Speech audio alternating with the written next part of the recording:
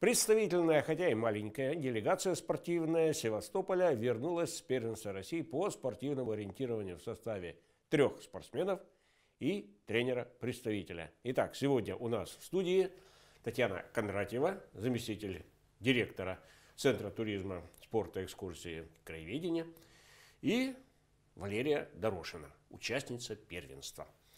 А, Татьяна Витальевна, давайте э, чуть поясним, что это были за соревнования, почему к ним такое вот внимание.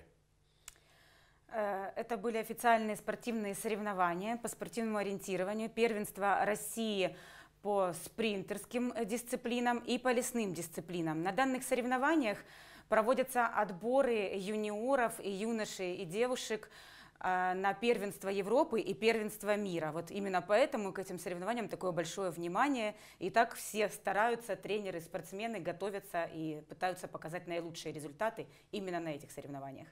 А какое общее количество участников собралось? Более 700 человек из 38 регионов России. Давайте по порядку. Первое, первое первенство, извините за тавтологию, проходило э, в Великом Новгороде. Да. Так, что там были кроссовые дисциплины? А, это было городское ориентирование, спринт, э, кросс многодневный. Спринт – это короткая дистанция, на которой много, участник э, берет много контрольных пунктов, которая проходит по городской части, в части городской застройки. А, и участникам, как правило, тяжело даются эти дистанции, потому что преодолеваются они на очень высокой скорости. И на очень высокой скорости нужно выбирать правильный, кратчайший путь движения. И если этот путь выбран неправильно и ошибка хотя бы в 20 метров, то вот эти 20 метров уже могут сыграть свою роль и отодвинуть участника на 5, а то и на 10 мест назад. Валерия, как тебе бегалось по городу, тем более по чужому городу? Мне очень понравилось, там все было необычно, непростое ориентирование, очень нужно было быстро соображать, и рядом шли даже прохожие, их нужно было постараться не сбить, ехали машины, нужно было тоже смотреть по сторонам. В общем, было очень сложно, потому что было много вариантов, э, как бежать на контрольный пункт. И, в общем, я выбирала, старалась, бежала и пыталась бежать очень быстро. Ну, у нас здесь в Севастополе только одна зона, которая могла бы претендовать на э, городское ориентирование. Это набережная от э, площади Нахимова до Артбухты. Э, ты этими маршрутами бегала в Севастополе? Да, бегала. Можно как-то сравнить? Есть что-то похожее или все-таки... Ну, вообще, да, конечно, есть. Это тоже город, там тоже находится как жилые вот районы, тоже нужно, в общем, как на обычном спринте, много заборов всяких, тоже все на скорости, быстро, самое главное, по асфальтированной дороге, в общем, да. Но единственное, что там был более, ну, более такой жилой, э, спокойный район, а здесь, ну вот, если сказали вдоль набережной, то там Центр города. Да, а центр. покажи, пожалуйста, карту городскую нашим телезрителям, как она выглядит. То есть здесь нанесена вся парковая зона, жилые дома, э, лестницы. Э, транспорт не ходил в этот момент по городу? А, мы бегали в зоне, где не было транспорта. Ну, э, там были машины, но э, пути закрыли им. Так, и другая карта, лесная зона. Сразу давайте покажем карты, чем они отличаются. Эта карта, конечно, совершенно зеленая. Да. Здесь экологически чистый район лес, сосны. Но мы еще вернемся к этой теме. Итак, значит, городское ориентирование. Татьяна Витальевна, почему городское ориентирование вдруг на первенстве России целых три дня? А, сейчас э, в нашем виде спорта наметилась такая тенденция, что все больше мы склоняемся именно к городскому ориентированию. И делается это с целью конечная цель – это включить ориентирование в олимпийские виды спорта, для того, чтобы участвовать в Олимпиаде. А для этого нужно сделать вид спорта зрелищным. Чтобы вид спорта узнали многие люди, и чтобы было интересно на него смотреть, его нужно немножко переместить из леса в город, где есть большое количество людей, есть большое количество зрителей. Вот на данных соревнованиях ставились видеокамеры на разных контрольных пунктах, и люди, которые находились на старте, на финише, могли наблюдать за участниками. На участников одевались GPS-трекеры – и э, по этим GPS-трекерам можно было следить, вот как точки изображали, как движутся участники. Подписаны были фамилии лидеров, наилучших участников, самых сильнейших. И зрителям можно было отслеживать, какие именно варианты движения выбирают победители, вот за счет чего им удается все-таки этим людям победить. На э, таких э, треках, э, которые э, выписывали наши симферопольские коллеги на чемпионате Европы, я увидел очень занятную штуку – один спортсмен бежит снизу, это было, по-моему, во Франции они бегали, бежит снизу э, с подножья горы на вершину по прямой линии, а другой нарезает спираль вокруг этой горы, и приходят они на вершину практически одновременно. То есть настолько сложная была дорога прямая э, в лоб э, на гору, что тот, кто бежал по спирали, пришел на вершину одновременно с этим бегуном. Очень интересно наблюдать такие треки. Здесь еще одна новинка, в общем, пока в Севастополе мы ее не практиковали ни разу. Это э, контрольные камеры, которые стоят на финише, видеокамеры, э, на смотровых КП, на различных КП, даже в лесу. И буквально на следующий день, как только были вывешены в интернете результаты, э, организаторы сразу с результатами соревнований вывесили и видеоматериалы с этими контрольными пунктами. Вот сейчас мы одну такую зарисовочку покажем. Э, две камеры, одна на финише, одна посредине леса. Это как раз вот э, такие контрольные видеоматериалы, которые позволяют потом и тренеру, и спортсмену охарактеризовать, как же, как человек финишировал. Это финишное КП. Это финишируют малыши, это детские группы. Они не участвуют в первенстве, они участвуют в, в массовых соревнованиях, а уже вот через год, через два вот эти детки смогут участвовать в первенстве. Это самые юные участники, самые первые на финише, дистанции у них самые короткие.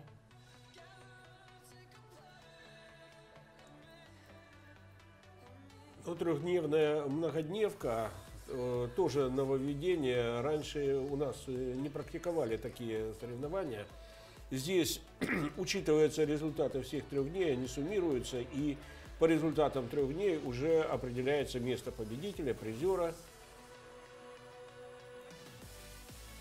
А делается это для более реальной картины, потому что вот в один день может быть какая-то случайность в результате участника, а вот три дня уже показывают как бы тройной никакого, результат, никакой да, и никакой случайности может, да? уже, но если в один день она и была, то в другой день участник может отыграть эти минуты, которые он потерял в предыдущий день. Вот э, на другом КП э, стояла камера, очень интересно наблюдать было, как образовывается паровозик. Прибегает один спортсмен, за ним другой, тот задержался, второй его уже не отпускает, и начинается такая гонка преследования. Вроде и один, и другой знает, куда бежать, но вот ну, взыграло стадное чувство, и дальше они уже побежали вместе. Да, и как правило, когда недостаточно опытные спортсмены берутся бежать вместе, они совершают еще больше ошибок, чем совершили бы по одному. Ну, это хорошо, если они еще в одинаковой группе бегут, а и КП у них в нужном порядке. А то ж можно взять и чужие КП. Вот э, на данных соревнованиях легко было определить, из твоей группы участника или нет, потому что вот если вы обратите внимание, у них у всех разноцветные номера. И в каждой группе разного цвета у участника номера. Но это э, уже э, второе, второе первенство. Где оно проходило? Э, это город Луга Ленинградской области. Все три дня в лесу? Да, все три дня в лесу. Вот такой вот у них лес. В первый день лес был чистый, можно сказать, парковый, вот как на данном видео. А во второй и в третий день э, лес был совсем не такой. Там было много таких вот зарослей, ельников, густых, Любви к спорту, все возрасты покорные. Вот. вот и ветераны побежали. Да, да, да, это как раз вот выбрали видео, где э, массовые соревнования. Это участники не первенства, это участники массовых соревнований. Вот вначале были детки, а теперь вот взрослые, которые уже не представители профессионального спорта, а которые уже бегают в собственное удовольствие. То есть э, сначала э, с 11 часов был э, дан старт для спортсменов первенства, участников первенства. Да, а после а того, как трассы освободились, побежали да. все остальные. С 13.30 начали стартовать уже участники вот майской многодневки. Все желающие, все, кто может быть, когда-то раньше были профессиональными спортсменами, вот взрослые, и не могут расстаться с этим видом спорта, потому что, как правило, если человек начал заниматься спортивным ориентированием, то уже любовь сохраняется к лесу, к стартам, к забегам на всю жизнь. Лера, а как бегалась по лесу? Все-таки э, более привычная территория? Нет, совсем непривычная территория, потому что там э, местность среднепересеченная, там микрорельеф, у нас здесь горы, конечно, непривычно. Во-первых, там должна быть высокая скорость, и тоже нужно быстро думать, и почти все КП там нужно было их брать азимутом, когда у нас так нельзя, потому что если пойти там на азимут, там можно в горку очень долго идти и тяжело, и нам нужно часто искать обходные пути. И, в общем, да, было сложно, и тем более там болото, а у нас здесь обычно нет их. Там еще Сама местность это как бы бугры, ямы, бугры, ямы, они, бугры там буквально 5-7 метров, они маленькие, можно спокойно бежать напрямик, хотя, например, местным жителям, им даже по ним сложно бежать, поэтому они стараются их обходить, а мы же в горах, и нам уже легче так. То есть на наших картах, на севастопольских, крымских, легче все-таки определить, с какой стороны вершина и куда нужно бежать. Да. И если уже выбежал на вершину, то можно уже сверху глянуть куда, куда, куда дальше направлять свою поступь. Э, у нас есть еще один маленький сюжет, который сделало местное телевидение Новгорода, э, информационный сюжет. И мы сейчас его покажем. Это говорит о том, какое внимание уделяли этим соревнованиям все средства массовой информации России. Яркое, но отнюдь не ласковое солнце, вместо лесных тропинок и мягкого мха 75% асфальта, не майский холод и сотни соперников. Именно таким запомнится первенство России по спортивному ориентированию спортсменам из 38 регионов нашей страны.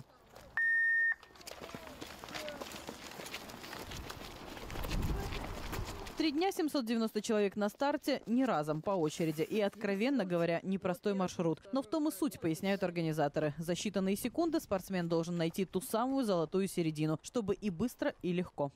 Есть разные выборы пути, есть длиннее, есть короче, но желательно выбирать короткие и быстрые варианты. Не всегда получается, ну, на глаз же не точно определишь, а иногда потом прибегаешь после дистанции, смотришь на карту и думаешь, нет, надо было все-таки вот так оббежать. Препятствий в городе немало. На пути спортсменов и инфекционная больница, и валы, и автомагистрали. Правда, наслаждаться видами точно некогда. Все-таки город, и здесь самые ключевые вопросы, которые трудно предсказуемы, это, конечно, безопасность и обеспечение дорожного движения, потому что участники преодолевают дистанцию совершенно в любом направлении, то есть так, а как, они, как? так как они считают нужным. В руках карта и легенда, в голове мысль о победе. Мешая друг другу и пытаясь обогнать время, они бежали, сбивая с ног прохожих и пугая местных собак. Набрав скорость, так легко было проскочить контрольные пункты. Тем более, что порой они были весьма надежно спрятаны в кустах и деревьях.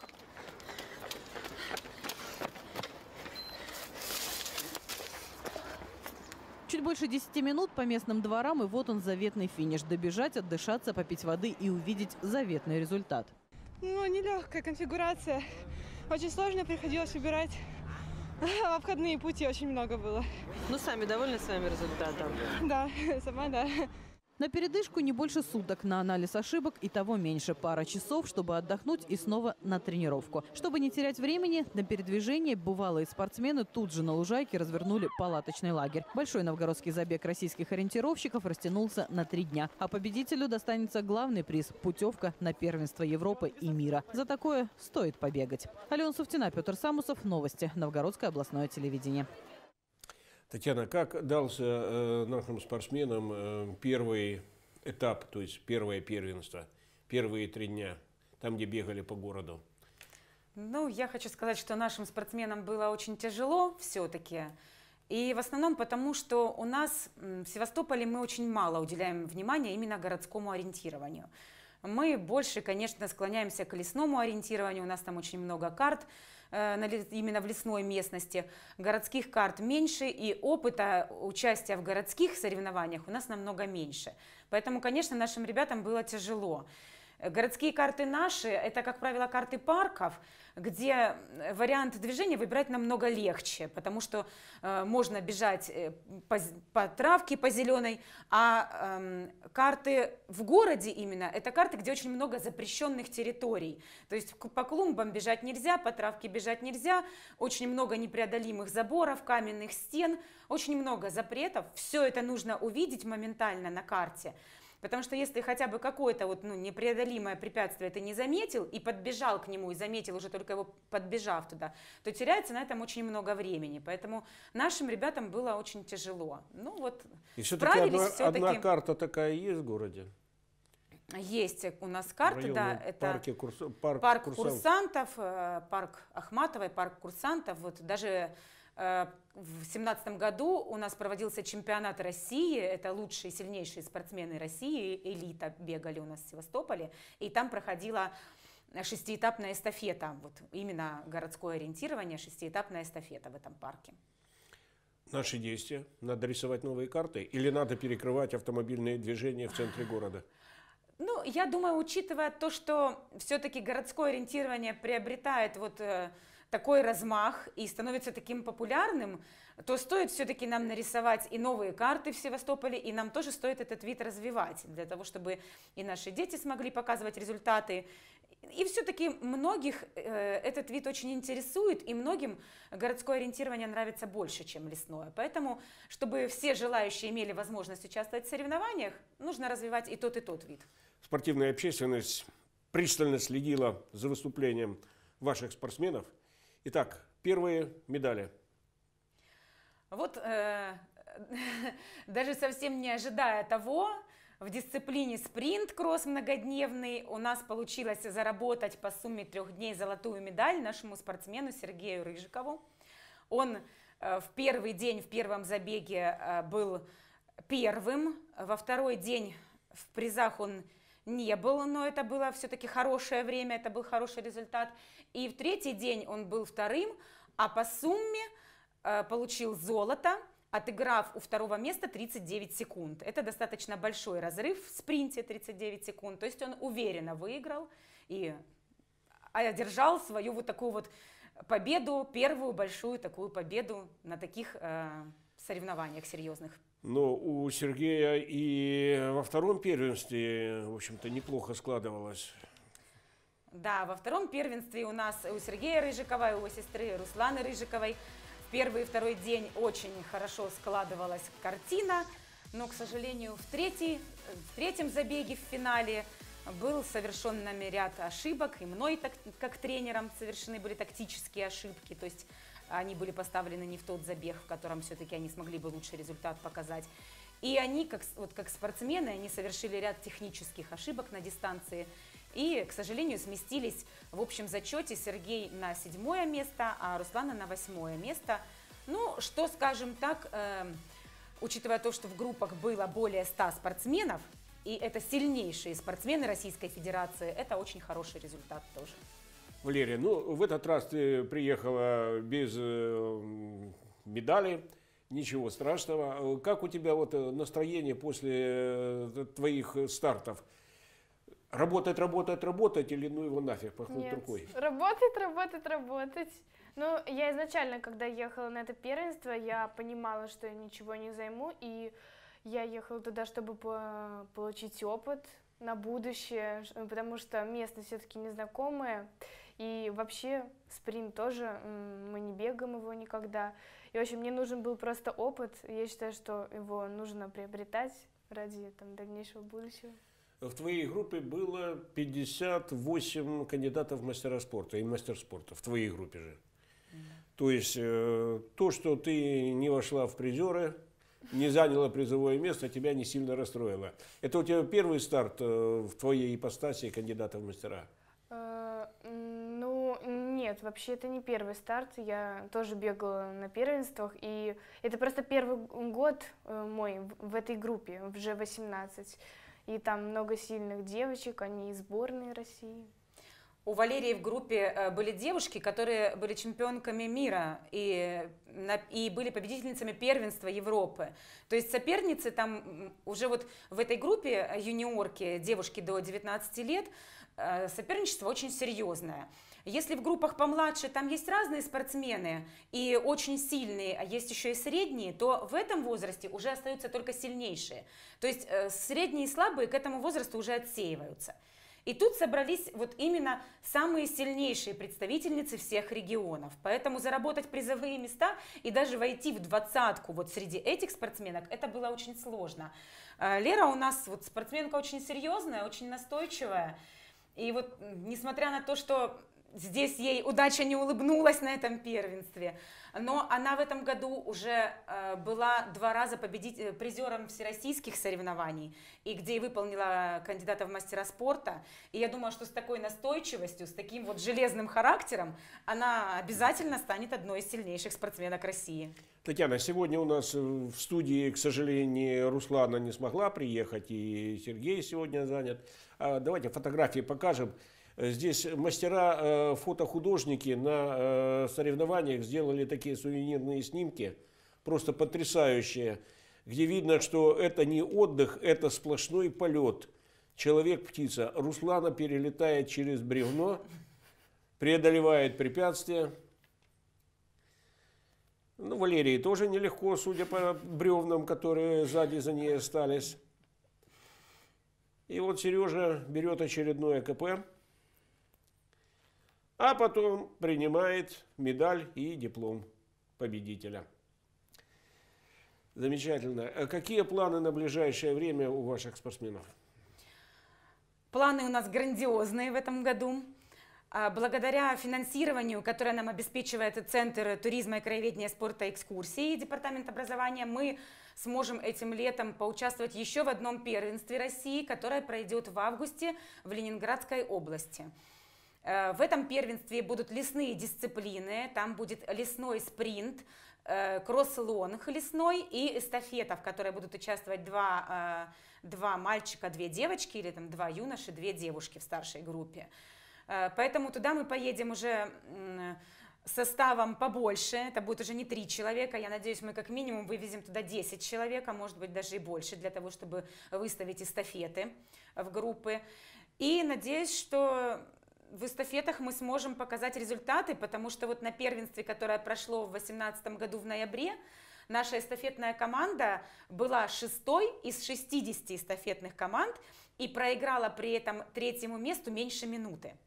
То есть эстафета четырехэтапная, и у нас был от третьего места совсем маленький разрыв. Поэтому надеюсь, что будут у нас очень хорошие результаты именно вот в этом командном первенстве. Кроме того, в июне у нас спортсмены Э, небольшим составом 5-6 человек собираются на всероссийские соревнования, которые в Ленинградской области проводятся на Карельском перешейке. Кубок Карельского перешейка – это такие очень масштабные соревнования, там собирается более трех тысяч участников, и там очень много иностранцев, там участники приезжают из Финляндии, Норвегии, Дании, э, и дети, и взрослые, все там общаются между собой, и для опыта, вот именно для опыта для спортсменов это очень важные такие соревнования. Герои Севастополя. Э, кроме того, да, конечно же, обязательно мы будем участвовать в наших э, любимых соревнованиях, которые каждый, каждый год в июле проходят у нас.